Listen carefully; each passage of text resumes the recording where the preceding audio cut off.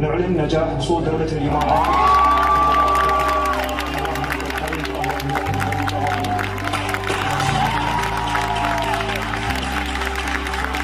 It's a massive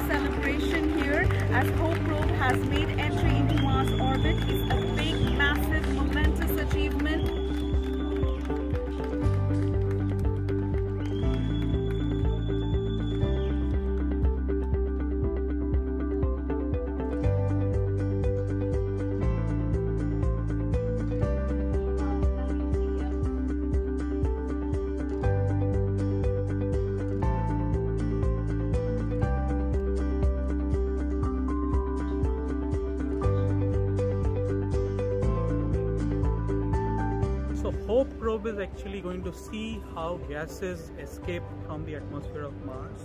It will also see how solar activity impacts Mars. So radiation from the sun, it interacts with the Martian atmosphere, it changes its chemistry.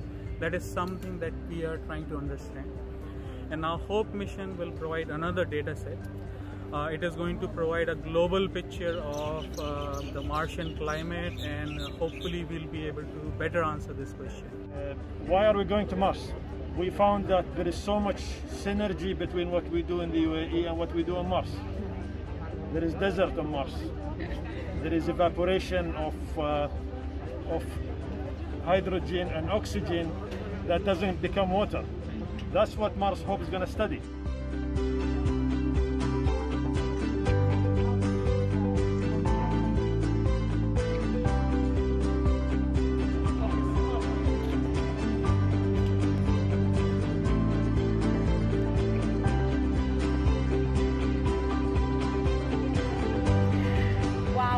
Moment today. Uh, remember, uh, UAE scientists, students, engineers have all been working for this moment, for this day, and all their hard work has paid off.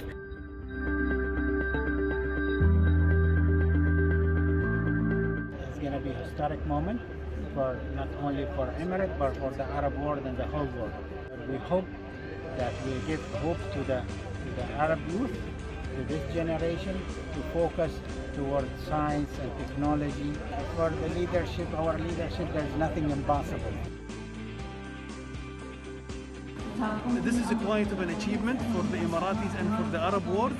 It shows that the investment in human capital is what makes the difference. This is the true investment and this is the real return of what we are benefiting today. It's inspiring all of the next generation about science, technology, and math and engineering.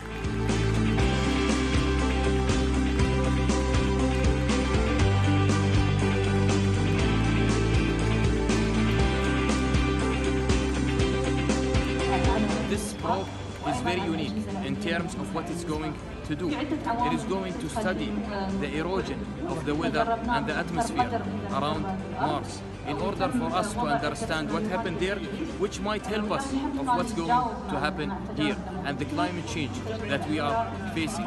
All the data will be provided to more than 200 science institutions, faculties, as well as universities worldwide.